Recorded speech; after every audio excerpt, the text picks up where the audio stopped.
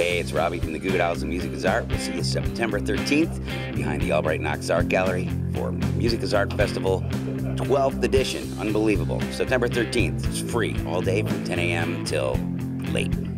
See you there.